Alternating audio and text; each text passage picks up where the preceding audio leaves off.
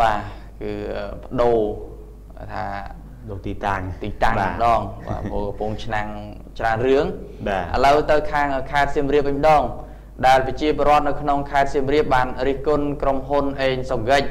និងក្រុមហ៊ុនលីហាងសេងជាអ្នកបំផ្លាញផ្លូវសាធារណៈ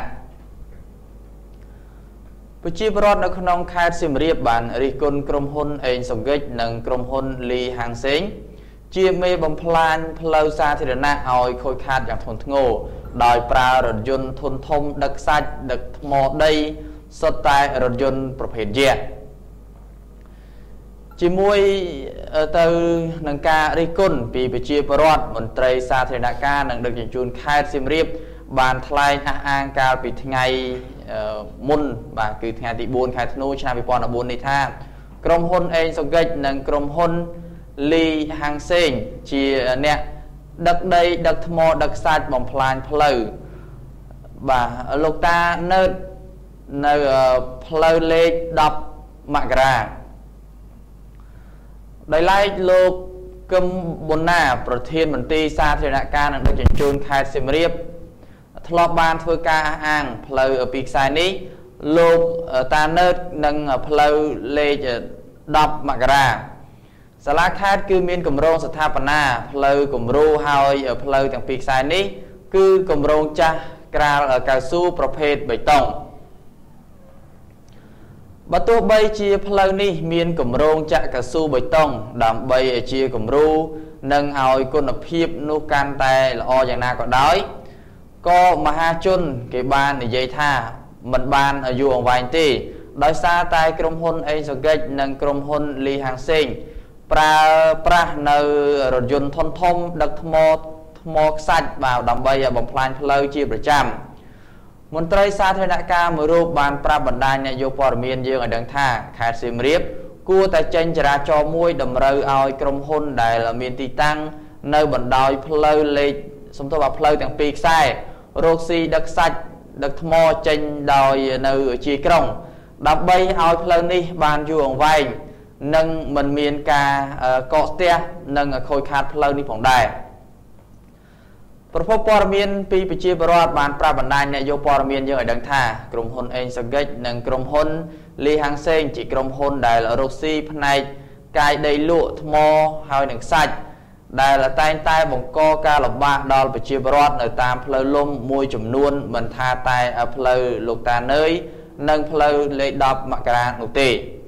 ដោយក្រុមហ៊ុនទាំងពីរខាងលើបានបំផ្លាញសំបីតែផ្លូវលំក៏ក្រុមហ៊ុនទាំងពីរនេះបំផ្លាញដែរគួរបញ្ជាក់ផងដែរថាកាលពីពេលថ្មីថ្មីនេះប្រជាពលរដ្ឋនៅក្នុងភូមិសម្បូរស្រុកនៅខេត្តសៀមរាប បានបិទផ្លូវចំនួន2គឺថ្ងៃទី1ខែបាទសំទោសបាទគឺថ្ងៃទី1និងទី2ខែធ្នូឆ្នាំ2014នៅចំណុចមុខវត្តចៃដី ដោយសារតែក្រុមហ៊ុនមានចំនួន4គឺរកស៊ីកកាយដីលក់និងប្រើប្រាស់នៅប្រភេទរថយន្តធុនធំដឹកបំផ្លាញផ្លូវលំ និងផ្លូវកស៊ូនៅតំបន់ភូមិសម្បួននោះនៅក្នុងក៏មានក្រុមហ៊ុនបាទអេងសង្កេតផងដែរតេតិននឹងបញ្ហានេះប្រជាពលរដ្ឋបានរិះគន់ទៅលើសំទោសបាទគឺតេតននឹងបញ្ហានេះប្រជាពលរដ្ឋបានរិះគន់ទៅលើបណ្ដាញបាទ ព័ត៌មានបានតំណាក់តំណងទៅក្រុមហ៊ុនអេសូកិចនិងតំណាងក្រុមហ៊ុនលីហាងសេងដើម្បីសុំការបកស្រាយបំភ្លឺជុំវិញព័ត៌មានដែលចោទប្រកាន់ខាងលើនេះព្រោះទូរស័ព្ទរបស់តំណាងក្រុមហ៊ុនទាំងពីរមិនអាចតំណាក់តំណងបានបាទអញ្ចឹងកន្លែងនេះយើងបញ្ជាក់តិចណាអ្នកព័ត៌មានយើងក៏ពិបាកដែរបាទបាទក៏ពិបាកជាមួយនឹងក្រុមហ៊ុននឹងដែរព្រោះថា គាត់ក៏ចង់ដឹងថាតើក្រុមហ៊ុននឹងបានមានគម្រោងរៀបចំយ៉ាងណាអីជាមួយនឹងការអាជីវកម្មផ្លូវថ្នល់រាល់ថ្ងៃហ្នឹងណាបាទអញ្ចឹងសម្រាប់អ្នកព័ត៌មានយើងដើម្បីថាចង់ធ្វើការតំណាក់តំណងទៅយើងជម្រាបជូនទៅដល់បងប្អូនថាណែក្រុមហ៊ុននេះដោយសារតែអញ្ចេះអញ្ចេះអញ្ចេះបាទអញ្ចឹងទៅឲ្យបងប្អូនវិជាបរដ្ឋហ្នឹងគាត់មានថាចម្លើយខ្លះបាទបាទតែអ្នកព័ត៌មានរបស់យើងគាត់ តាក់ទងគាត់បានដែរបាទហើយអញ្ចឹងគឺថាព័ត៌មានត្រូវបានបិទបាំងអត់ទាន់បានគេហៅថាបើកចំហជាបន្តទៀតទេបាទ បាទសម្រាប់ក្រុមហ៊ុនបាទទាំងពីរខាងលើនេះបាទហើយដូចជាបានបញ្ជាក់នៅក្នុងខ្លឹមសារដែលលោកចន្ទរាបានជម្រាបបែបអញ្ចឹងបាទគឺធ្វើឲ្យប៉ះពាល់ទៅដល់ការរស់នៅរបស់បងប្អូនជីវរដ្ឋក៏ដូចជាការធ្វើដំណើរទៅមកបាទធ្វើឲ្យផ្លូវទាំងពីរខ្សែគឺរងការខូចខាតដោយសារតែក្រុមហ៊ុនទាំងពីរខាងលើបាទបានដឹកបាទដីដឹកថ្មដឹកខ្សាច់ហ្នឹងវាធ្ងន់ធ្ងន់លើលើសទម្ងន់ដែលបានកំណត់បាទពេលអញ្ចឹង ធ្វើឲ្យផ្លូវថ្នល់បាទប្រជាពលរដ្ឋក៏បានលើកឡើងហើយថានៅពេលដែលទោះបីថាខេត្តបាទគម្រោងរបស់ខេត្តថានឹងចាក់កៅស៊ូក៏ដូចជាចាក់បេតុងណាបាទក៏វាមិនអាចថិតថេរបានយូរដែរបាទដោយសារតែក្រុមហ៊ុនទាំងពីរខាងលើហ្នឹងបាទគាត់ដឹកបាទធ្ងន់ធ្ងរពេកបាទអញ្ចឹងជាការសរុបពោដល់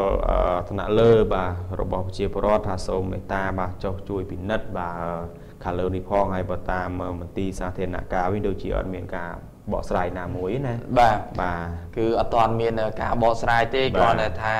ឲ្យដឹងថាផ្លូវនេះគឺជាផ្លូវគំរូដែលមានថាត្រូវចាក់កស៊ូនិងចាក់បេតុងហើយកន្លងមកក៏មានការជួសជុលអីដែរតែបងប្អូនប្រជាពលរដ្ឋក៏បានលើកឡើងថាទោះបីជាមានការជួសជុលក៏អត់បានយូរដែរបាទព្រោះថាដោយសារតែការចរាចរណ៍ដឹកគ្រោះថ្មខ្សាច់នោះវា ប្រើរថយន្តធំធំហើយសម្រាប់ស្ថានភាពផ្លូវគឺมันអាចត្រូជាមួយនឹងទម្ងន់រថយន្តអស់នឹងបានបាទអញ្ចឹងទោះបីជាថាធ្វើយ៉ាងណាក៏ដោយក៏អត់បានយូរដែរបើថាតបើសិនជាដឹកប្រភេទធំធំចេះតើណាហៅថាផ្លូវតើណាស្តង់ដាហើយបាទបាទស្តង់ដាហៅថាស្តង់ដាសម្រាប់ដឹកគ្រោះដឹកថ្មហ្នឹងតែម្ដងអាហ្នឹងបានបានយូរ តែបើថាធ្វើស្តង់ដាសម្រាប់គាត់នៃការចរាចរទៅមករបស់បងប្អូនប្រជាពលរដ្ឋដឹកកសិផលឬក៏តំបន់ទេសចរមួយចំនួនហ្នឹងតើរួចទេទោះបីជាអាលងស្រិលហ្នឹងអាលងបានតែប្រហែលរយៈពេលខ្លីហ្នឹងក្រៅពីហ្នឹងគ្រិចគ្រុកគ្រិចគ្រុកបាទដូចអឺអស់ដែរបាទទៅអស់ដែរបាទ